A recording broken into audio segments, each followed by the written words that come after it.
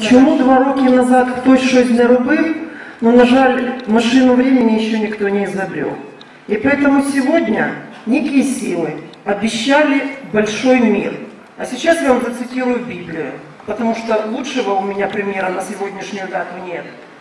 «И врачуют раны народа моего легкомысленно, говоря мир, мир, а мира нет». Это Иезекииль 8.11. Поэтому я рекомендую вам, когда вы едете на диалоги про Украину, не прикрываться мнением народа, а слышать народ до того, как принято решение. Сегодня в зале вы неоднократно услышали «не верю», «не понимаю», «не знаю, как буду действовать» или «как будет действовать власть».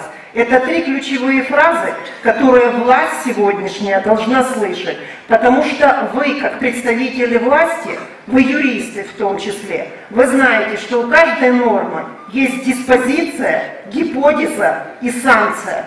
Вот можно говорить про формулу, которую мы сегодня обсуждаем, и говорить о том, что она возникла в Минских-1 и Минских-2, а потом в контексте диалога про Украину услышать, оказывается, тогда она не была сформирована, а вот она подписана как раз Кучмой, и сейчас она, мы ее с вами обсуждаем. Так может быть обсуждение начинать до того, а не после? Это я плавно вас подвожу к мысли о законе, который вы намерены принимать, и который будет как раз реализацией вот того непонятного Франкенштейна, о котором вы нам сегодня пытаетесь рассказать. И вот эти диалоги про Украину, которые сегодня проводятся по всей Украине, это не что иное, как красивая картинка для того, чтобы снизить градус напряжения вот здесь в массах. Потому что изначально вы правильно сказали, мы не хотим, чтобы было гражданское противостояние.